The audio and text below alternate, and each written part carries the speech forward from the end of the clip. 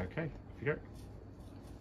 Okay, uh, we've all had difficulty on occasion passing either the SpyBite biopsy forceps or the electrohydraulic lithotripsy probe down and out through the end of the SpyScope.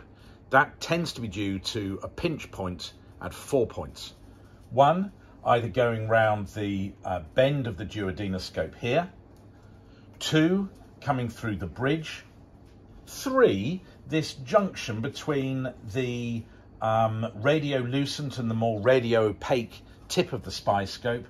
And four, just out of the end of the scope. Um, tips to resolve that.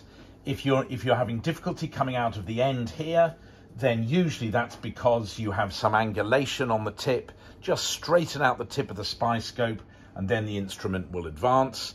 Similarly, if this area here is bent, as it often is, as one's coming round the uh, out of the duodenum, then either with the instrument, usually at about this point, either advance into the duct to allow you to straighten out, or draw back into the duodenoscope. And similarly, uh, if one's getting stuck either at the bridge or at the duodenoscope bend, either advance the whole uh, SpyScope or withdraw it. That'll resolve the problem.